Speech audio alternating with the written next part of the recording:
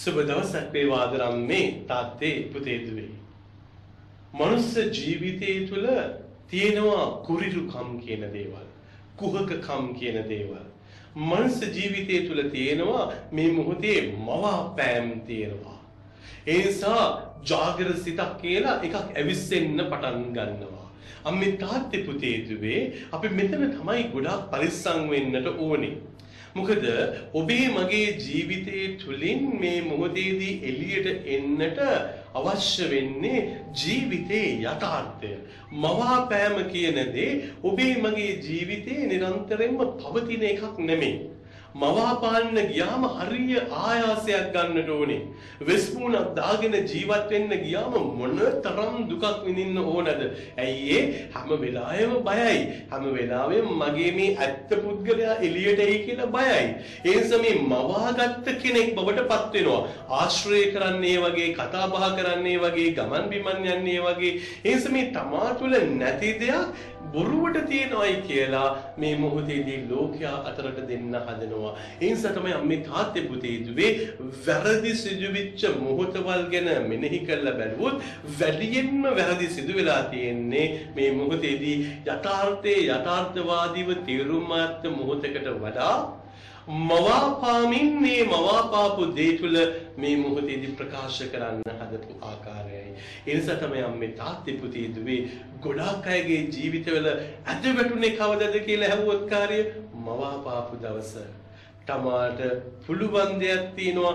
ඒ තමාට කරන්න වගකීමෙන් යුතුව පැවරිච්ච දෙයක් තියෙනවා. තමාගේ ස්වභාවයක් තියෙනවා. තමාට ආවේනික ජීවිත ක්‍රමවේදයක් තියෙනවා. මේවා එකක්වත් තකන්නේ නැත්තම් මේ මොහොතේදී අනේ මගේ ජීවිතය තුළ නැති දේ මෙන්න ඉදිරිපත් කරන්න පටන් ගන්නවා.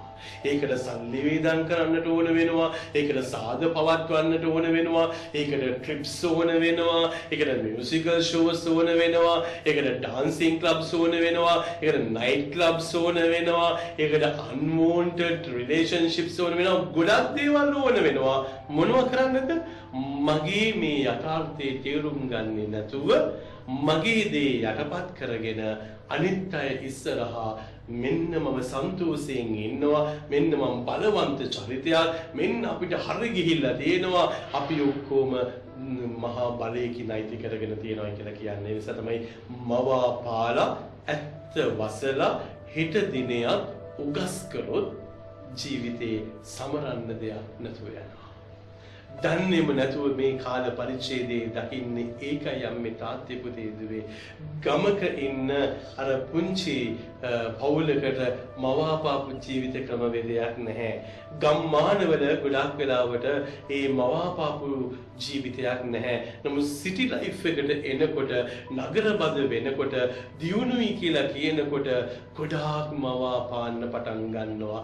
ආදරේ පවා මවාපාන්න පටන් ගන්නවා. සමහර අය කියනවා මන්ට මාත් එක්ක අරයා යාළුවිනේ එයාත් මගෙන් ඇහුවනේ. ඉතින් දැන් මේ ගොඩාක් දේවල් මේ මොහොත වෙනකොට ඩිමාන්ඩ් එකක් ක්‍රියේට් කරගන්න මේ මොහොතේදී ඇති දේ නැති දේ ගොතලා හදලා කියන්න පටන් ගන්නවා. ඒ නිසා කොච්චර ජීවිත අමාරුවේ වැටලා තියෙනවද?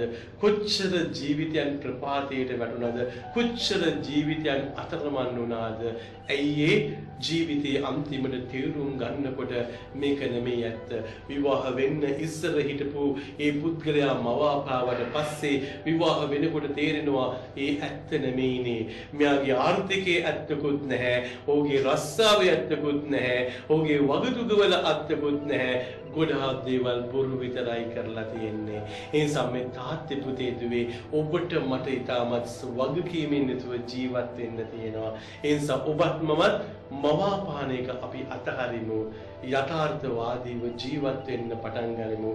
බොරුවට අනිත් කෙනාව සන්තෝෂයට පත් කරන්න අපි මේ මොහොතේදී විනාශ නොවෙමු. ඒ නිසා මේ තාත්ති පුතේ දිවේ මවාපාන්න පටන් ගත්ත අය අනිත් කෙනා වෙනුවෙන් තමයි ගොඩක් වැරදි කරේ. අනිත් කෙනාගේ ජීවිතේට ඉම්ප්‍රෙෂන් එකක් දෙන්න තමයි ගොඩක් වැරදි කරේ.